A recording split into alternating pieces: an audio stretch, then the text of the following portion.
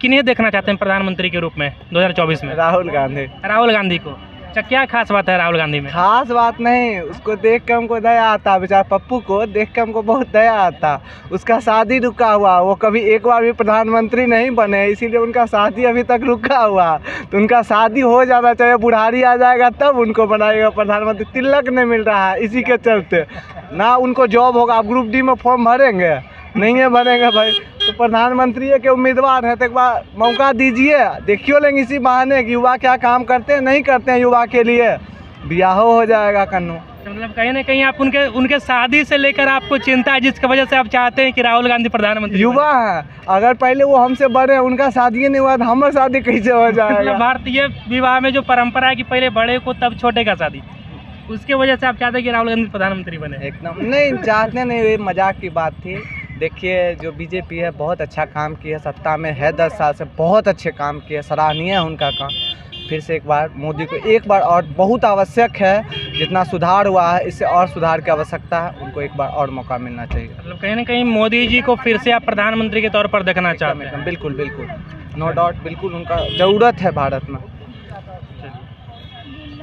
अगर इसके लिए आप डिबेट कीजिएगा ना तो हम आपके आपके साथ 12 घंटे डिबेट करेंगे। क्यों बना सकते हैं उनको प्रधानमंत्री बताइए। क्यों नहीं? ऐसा कि आप- क्या मोदी जी में क्या खास बात है जो आप प्रधानमंत्री के तौर पर मोदी जी सबसे बड़ा चीज़ है सनातन के लिए बहुत अच्छा काम किया सराहनीय है। हम लोग के लिए सनातन के लिए भी किए हैं और मुसलमान समाज के लिए भी बहुत कुछ किए हैं जो उनका आलतू फालतू कचरा वाला नियम था उसको ज़रा ढक दिए हैं। तो और 370 हो गया राम मंदिर सबसे हम सनातनी हैं तो सनातन की बात करते हुए राम मंदिर को सबसे ऊपर रख के मोदी जी को मतदान करेंगे। सबसे बड़ा बात मेरे लिए वही होगा। अच्छा देखिए यहाँ पे कुछ बच्चा लोग भी इन लोग से भी बात करेंगे। क्या नाम है जी? आशीष का नाम है। अच्छा 2024 में प्रधानमंत्री वाला चुनाव होने वाला है। पता है। प्रधानमंत्री के रूप में किनको देखना चाहते हो? मोदी को। मोदी जी को देखना चाहते हो? अच्छा मोदी जी में ऐसा क्या खास बात है? बहुत खास बात है। क्या खास बात है मोदी जी में? ऐसा तो बहुत सारा है बाकी कितना बता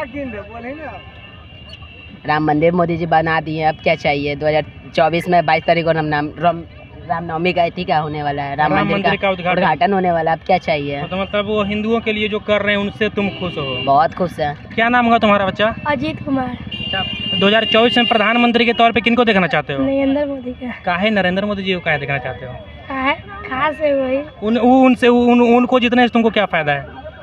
जीत जाएँगे तो बहुत अच्छे बात अच्छे बात है। अच्छा बात है। कहाँ अच्छा बात है? मतलब जीत जाएँगे तो क्या कर देंगे वो?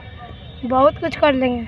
हिंदू राष्ट्र बन जाएगा। मतलब मोदी जीत जाएँगे तो इस बार हिंदू हिंदू राष्ट्र बन जाएगा हाँ। चलिए। देखिए ये बीच में कुछ दिन पहले एक गाना आया था कि भारत का बच्चा बच्चा जय जय श्री राम बोलेगा। और देखिए बच्चा बोल रहा है कि मोदी जी एक बार फिर से जीतेंगे तो भारत हिंदू राष्ट्र बन जाएगा।